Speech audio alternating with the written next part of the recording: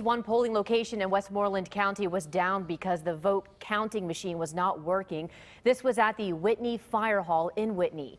It happened right when the polls opened. Workers gave voters the choice, wait until it was fixed or leave your ticket for a worker to scan. That some people were okay with it, that we could print the ticket out, but then the workers would scan our, our votes and scan the tickets in the scanner once the machines got fixed. Voters who waited for the machine to be fixed say they were there for about an hour waiting. Things are now back up and running smoothly.